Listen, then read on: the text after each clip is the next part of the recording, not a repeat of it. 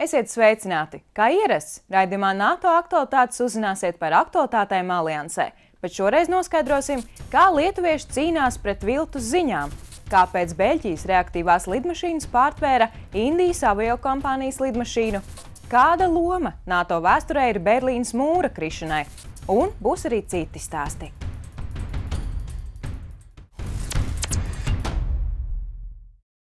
Sākot ar jūniju, sešus mēnešus Latvijā uzturēsies aptuveni 300 karavīri un bruņu tehnika no Spānijas. 250 spāņi ir no mehanizētās kainieku brigādes Estremaduras 6, bet Spāniju pārstāv arī loģistikas vienība un inženieru komanda. Mūsu valstī šie karavīri pildīs pienākumus NATO daudznacionālajā kaujas grupā, ko vada Kanāda.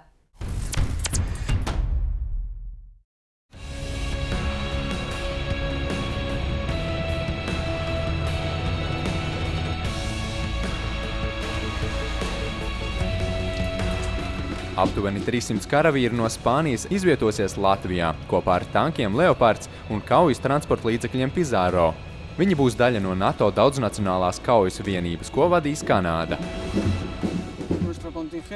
Mūsu kontingents sniegs ieguldījumu ar līdz šim spēcīgākajām un tehnoloģiski progresīvākajām kaujas platformām, ja mēs runājam par lieliskiem kaujas ratiem, jeb leopardu un kainieku kaujas transporta līdzekli Pizarro. Šos abus var salīdzināt ar labākajiem modeļiem no visām alianses valstīm.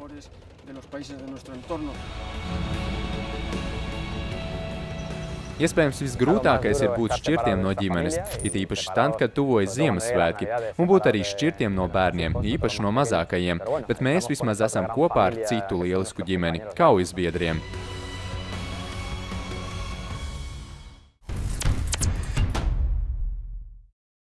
Izpētes projekta laikā, ko atbalsta NATO, starptautiska zinātnieku komanda veids Baltijas jūras gultnes kartēšanu, nosakot dažādu nomesto munīciju, atrašanās vietas un tās izpētot. Vairāk par šo projektu nākamajā stāstā.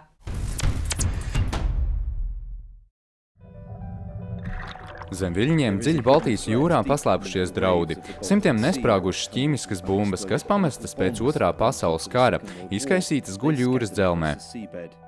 Šī starptautiskā zinātnieku grupa darbojas misijā, lai atrastu šīs munīcijas un izpētītu, cik liels draudus tās rada. Patiesībā mums ir divu veidu draudi. Pirmie ir enerģētiskie draudi par to, ka šīs munīcijas varētu uzsprāgt, nodarot kaitējumu apkārtējai videi vai arī cilvēkiem un zivīm. Otrie draudi ir cilvēku veselības problēmas. Šis ceļojums ir daļa no vairāku gadu pētniecības projekta, ko atbalsta NATO programma zinātnei un mieram, garantējot drošību tiem, kas darbojas Baltijas jūrā. Šodien Baltijas jūrā mēs varam atrast daudz zemūdens munīciju, gan parastās, gan ķīmiskās. Nav svarīgi, gar kuras valsts piekrasti mēs dodamies, jo mēs visur varam atrast munīciju no bumbām, raķetēm un jūras mīnām.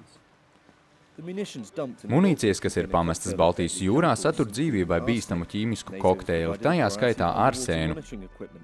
NATO nodrošina dažādu zemūdens monitoringa ekipējumu, tostarp tālvadības transporta līdzekļus, kas palīdz kartēt minētās vietas.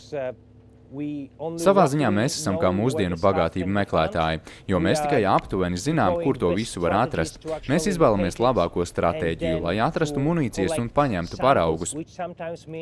Tas dažkārt nozīmē piekļūt munīcijām 20 cm attālumā. Tātad jums ir ne tikai jāatrod tā, bet arī jāidentificē un jāpaņem ideāls paraugs. Tāpēc šādi paraugi, kad tie nonāk pie mums un tiek analizēti laboratorijā, ir īsta bagātība. Tas ir tas, ko mēs medījām. Šīs ekspedīcijas sniedz iespēju arī studentiem, jaunajiem zinātniekiem piedalīties reālajā pasaulē, potenciālā glābšanas darbā. Šis gabaliņš ir no kādas sprākstošas vielas. Tas iespējams ir trinitrotolols, kas varbūt bija kādas bumbas vai mīnas sastāvā. Mēs šo paraugu nosūtīsim uz analīzēm. We'll send, uh, those samples for the analysis. Tā ir daudzpusīga problēma. Citiem vārdiem sakot, munīcijas atrodas teju katrā ūdens tilpnē visā pasaulē - ezeros, jūrās un okeānos. Tātad, ja mēs runājam par munīcijām, tad mums ir nepieciešams to darīt kolektīvi, jo dažkārt tava problēma ir mana problēma. Tas ir labs veids, kā pārtraukt darbu dublēšanos, neatkarīgi no tā, vai tas ir zinātnē vai tehnoloģijās, vai tas ir saistībā ar pašām munīcijām, neutralizējot un videi draudzīgi likvidējot tās. Atklājums no projekta prezentēs starptautiskajā zinātniskajā sabiedrībā, un tas palīdzēs valstīm, kas atrodas pie Baltijas jūras, veidot ilgtermiņa stratēģiju, lai cīnītos ar šiem potenciāliem draudiem. Šis bija Lorenz Kamerons no Baltijas jūras NATO kanālam. Amerikāņu diplomāte Roza Gotemellere pērnā gada oktobrī kļuva par NATO ģenerālsekretāra vietnieci. Viņa ir pirmā sieviete Ziemeļatlantijas līguma organizācijas vēsturē, kura ieņem šo amatu. Bet turpinājumā neliels ieskats Gotemelleres vizītē Igaunijā.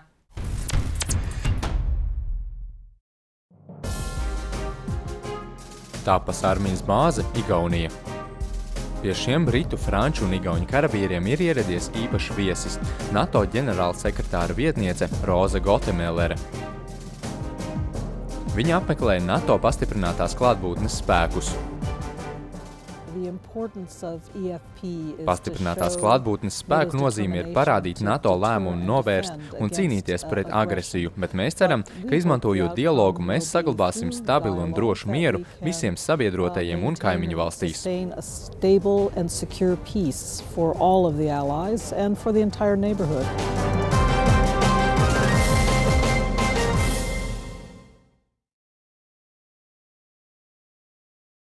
Augsta līmeņa draudi.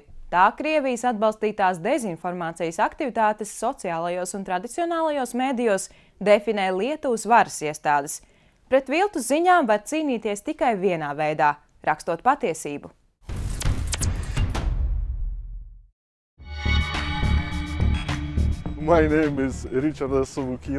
Mans vārds ir Ričards Savukinas, un es esmu troļu ķērājs. Viens no mūsu grupas nosaukumiem ir elfi, jo vienkārši elfi cīnās ar troļiem. Elfi pret troļiem. Tā ir cīņa, kas neskaitāms reizes ir cīnīta fantastikas grāmatās. Lietuvā šis karš ir kļuvis par realitāti. Troļi izplata melus, bet elfi izplata patiesību. Ričards ir daļa no cilvēku tīkla, kas strādā kopā, lai novērstu dezinformāciju. Propaganda ir meli. Tātad, ja jūs darbojaties pret propagandu, jums ir nepieciešams pastāstīt patiesību. Tas ir vienīgais veids, jo jūs nevarat cīnīties ar meliem pret meliem. Tātad jūs nevarat cīnīties pret propagandu ar propagandu. Elfi katru dienu patrulē sociālajos mēdījos, meklējot viltus kontus un atmaskojot viltus ziņas. Lietuva dezinformācijas izplatīšanos uzskata par augsta līmeņa drošības apdraudējumu. Es vēlos, lai šeit ir miers, nevis karš. Tātad, ja es redzu, ka tur ir propagandas darbības, kas vērstas uz gatavošanos karam, man kaut kas ir jādara.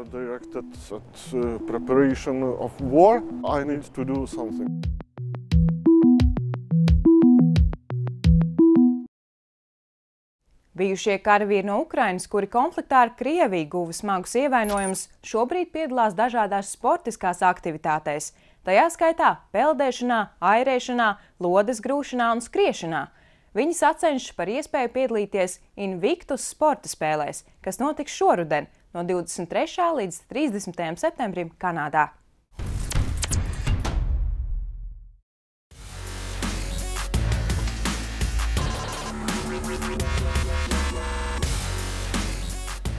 Daudz no šiem Ukrainas sportistiem ir guvuši ievainojumus, pildot dienesta pienākumus Uzbrukām uz zasitku. Mums uzbruka un tā trāpīja ar mīnu. Es zaudēju samaņu un pēc tam četras dienas mīnus 20 grādu salā biju iestrēdzis gravā. Tagad viņi sacenšas, lai piedalītos Invictus spēlēs Toronto šī gada septembrī. Visi zina, ka pēc traumas dzīve turpinās, ka ievainotais karavīrs var darīt vairāk priekš sevis, var pierādīt sevi ne tikai citiem, bet arī pašam sev, ka viņš turpina dzīvot.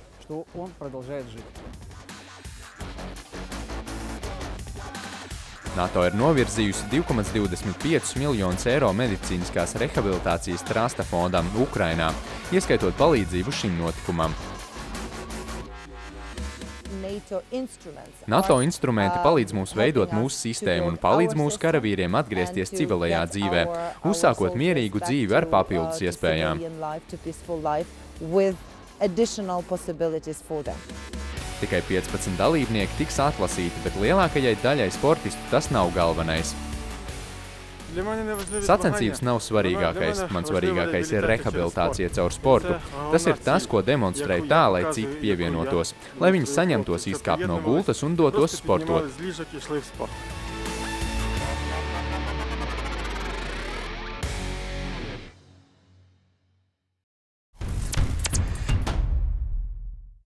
Sākot ar prettanku ieročiem, beidzot ar mazākiem ložmetējiem.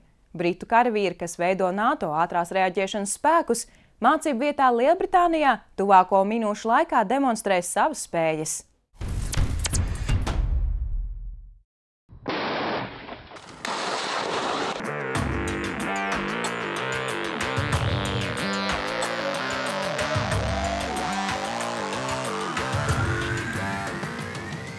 Mācību teritorijā Salisbury, Anglijā, grenadieru gvardas dalībnieks simulē kaujas uzbrukumu, lai demonstrētu dažādu ieroču sistēmu spējas.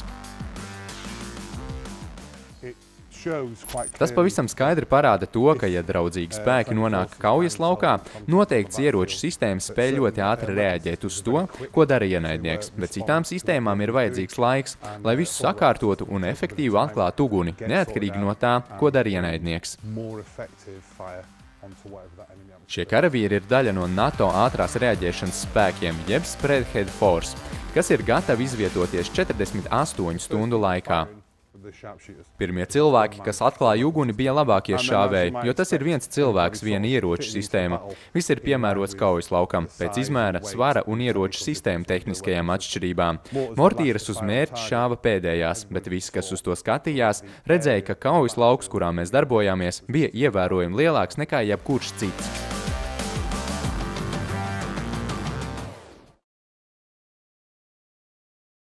Kad Indijas aviokompānijas lidmašīna, kas pārvadāja 231 pasažieri, zaudēja sakars ar gaisa kontroli, to ar reaktīvajām lidmašīnām pārtvēra Beļģijas piloti. Šīs notikums bija labs treniņš Beneluksa valstu kopīgajā gaisa patrulēšanas misijā NATO.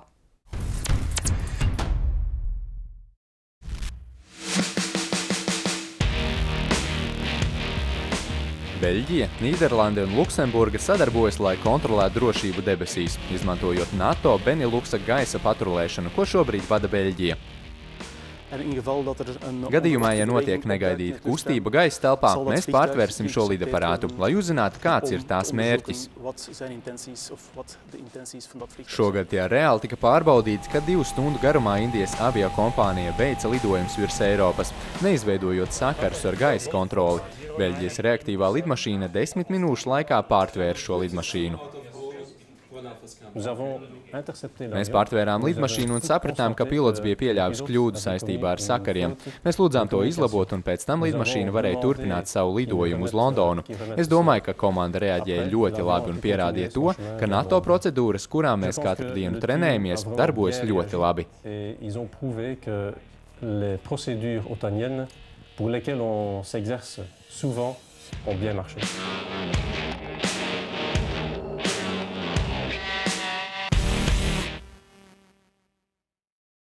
Iepriekšējos raidījumos jau stāstījām, ka NATO šobrīd ir izvietojusi četras kaujas grupas Polijā un Baltijas valstīs. Šīs lēmums tika pieņemts pērn Varšavas samitā. Nākamajā stāstā iepazīsimies ar pulkveža leitnātu Stīvenu Gventeru, kurš vadīs kaujas grupu Polijā.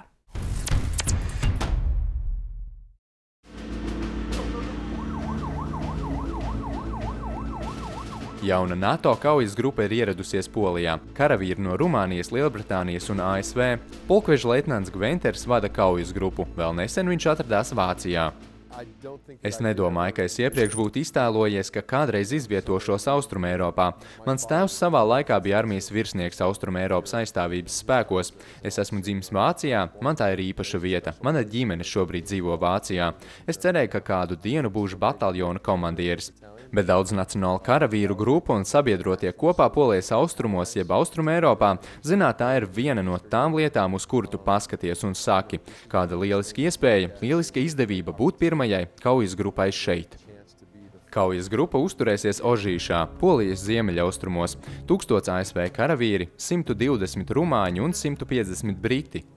Man personiski tas ir kaut kas citādāks. Es neesmu pieredzējis pie šāda veida izvietošanās. Ir diezgan jauki izrauties un apskatīt Poliju, piedalīties mācībās kopā ar NATO partneriem, lai redzētu, kā viņi darbojas un būtībā varētu mācīties cits no cita.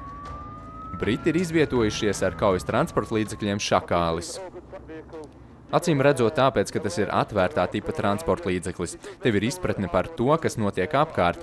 Ja ir slikti laika apstākļi, tas nedaudz apgrūtina visu. Mazliet ir jārūpē savs komforts, lai redzētu nedaudz tālāk par noteikto robežu.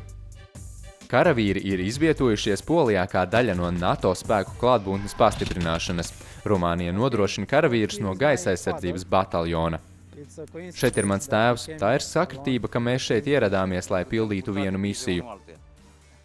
Viņš teica, ka ir ļoti priecīgs, ka mēs esam šeit kopā un varam rūpēties viens par otru. Rumāņi ir bijuši Afganistānā un Irākā. Tagad ir pirmā reize, kad esam nosūtījuši pretgaisa ieročus. Tagad ir jauna iespēja iegūt jaunus draugus un darboties ar jauniem transporta līdzekļu veidiem.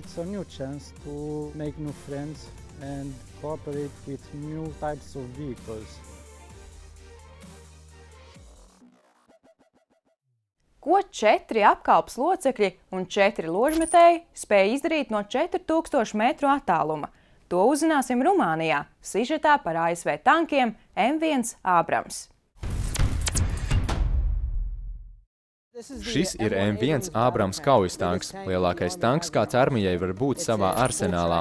Tas ir pilna aprīkojuma transporta līdzeklis, kā jūs varat redzēt. Mums ir ceļa riteņi, ko atbalsta sliedes un vada zobrats aizmugurē. Tas ir milzīgs zvērs, viens no smagākajiem transporta līdzekļiem, kas armijai ir un kas pārvietojas ar aptuveni 35 jūdzēm stundā. Tanka apkalpē ir četri cilvēki, mums ir četri ložmetēji. Mūsu ložmetējniekiem ir 120 mm ieroči. Tas šauj ar ļoti lielām lodēm, ļoti ātri. Mēs iespējams varam sasniegt 4000 metrus. Neatkarīgi no tā, tās ir mājas, mājas visiem mūsu tankistiem, atrodoties projām no savām mājām. ASV karavīri šobrīd ir izvietojušies Rumānijā, lai pildītu pienākumus operācijā Atlantika Resolve, tādējādi stiprinot drošību un stabilitāti Eiropā. Šī operācija ir atbilde uz Krievijas agresīvo rīcību Ukrainā. Šie ASV karavīri ir izvietojušies Rumānijā, 6000 jūdžu attālumā no viņu bāzes vietas Kolorādo. Kopā ar armiju es esmu bijis visapkārt pasaulē. Esmu bijis Korejā, esmu bijis Irākā, esmu bijis Katarā, Kuveitā. Šeit vairāk nekā citur. Es jūtos kā mājās. Svarīgi ir tas, ka mūsu karavīri Rumānijā spēj tikties aci pret aci, spēj apmācīt cits citu, pirms ir noticis konflikts, pirms ir notikusi jebkura strīdīga situācija.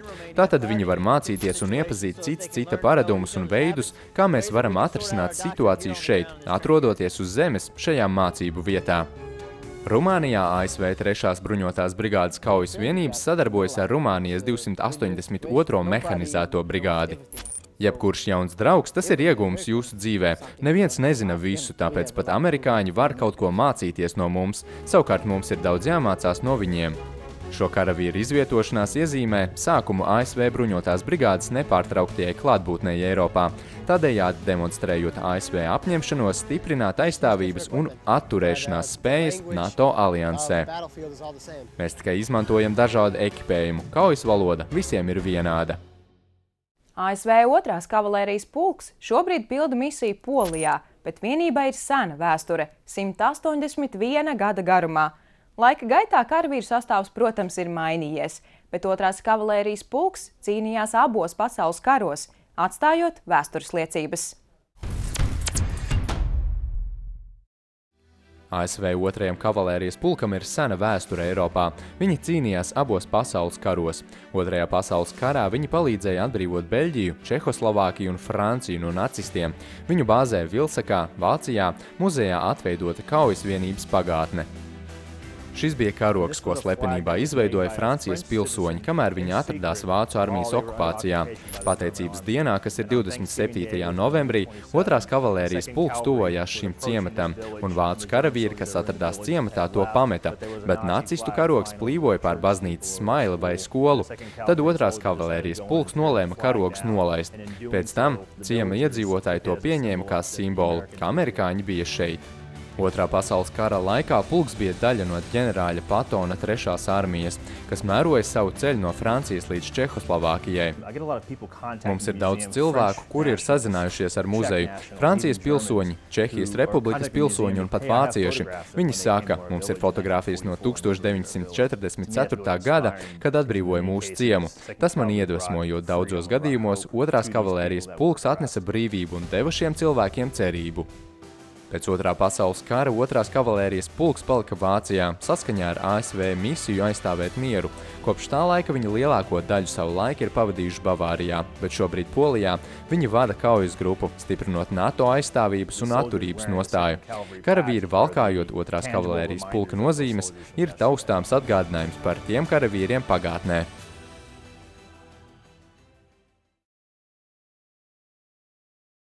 Berlīnas mūra krišana 1989. gadā ir simbols beigām, jo pēc tam sekoja plašas revolūcijas centrālajā un austruma Eiropā, un padomju savienība sabruka. Bet šis notikums ir simbols arī jaunam sākumam, jo NATO fundamentāli mainījās, un bijušie pretinieki kļuva par partneriem.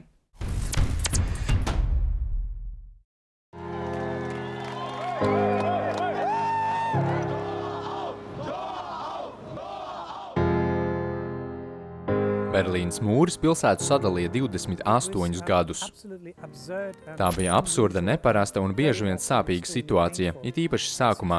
Vienas nakts laikā mūris pilsētu sadalīja divās daļās un nošķīra draugus, ģimenes un mīļotos cilvēkus, un neviens nezināja, cik tas ilgi turpināsies. Mūris simbolizē brīvības zaudēšanu komunisma režīmā, atdalot padomju bloku no demokrātiskajiem rietumiem. Manai paudzē, kas uzauga 60. un 70. gados, centrālā un austruma Eiropa bija nesasniedzama teritorija. To 1400 km garumā veidoja dzeloņa stieples, automātiskas ložmetēja aktivizēšanas pozīcijas un novērošanas torņi. Bija ļoti grūti iekļūt, bet vēl grūtāk cilvēkiem no otras puses bija izkļūt. Bija vairāk nekā simts apstiprināti nāves gadījumi cilvēkiem, kuri mēģināja bēgt caur šiem nocietinājumiem. 1989. gadā sākās augstākā ar atkusnis un mūris krita. Naktī, kad siena krita, bija milzīgs prieks, jo tas bija diezgan negaidīti, vismaz tajā naktī. Es biju Maskavā. Atceros, ka toreiz mana sieva ienāca istabā un teica, hei, es klausos BBC, un viņi saka, ka mūris ir kritis. Es atbildēju, ka tā nav taisnība. Es turpināju lasīt. Daudz spēki austrumu blokā bija noderīgi, lai komunisma siena un mūris pats par sevi kristu. Starp polijas arotbiedrībām solidaritātei bija vadošā loma. Es domāju, ka tā bija cīņa par brīvību Polijā, Vācijas Demokrātiskajā republikā, citās centrālās un austruma Eiropas valstīs, kas parādīja, ka brīvības spēki ir spēcīgāki par diktatūras un represiju spēkiem. 1989. gada 9. novembris iezīmēja pirmo pagrieziena punktu NATO vēsturē. Berlīnas mūra krišana iezīmēja būtiskas vēstures panākums NATO politikā. NATO bija pret to, ka mūrs pastāvēja, pret represijām, diktatūru un Vācijas un Eiropas sadalīšanu. Divi mūra gabali tika pārvietoti no Berlīnes, tie šobrīd atrodas NATO galvenajā mītnes vietā kā veltījums šai vēsturiskajai dienai.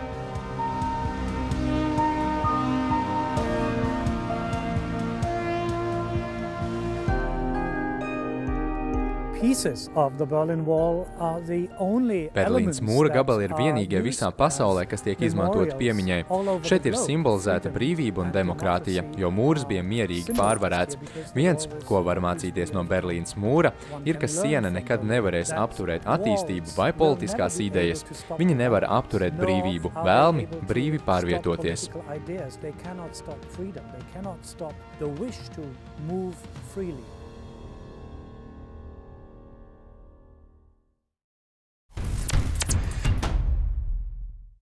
Vinstons Čērčils reiz teicis, jo tālāk pagātnē lūkojies, jo tālāk nākotni spējas paredzēt. Tāpēc arī nākamajā raidījumā ielūkosimies tuvākas un tālākas vēstures notikumos. Uz tikšanos pēc mēneša!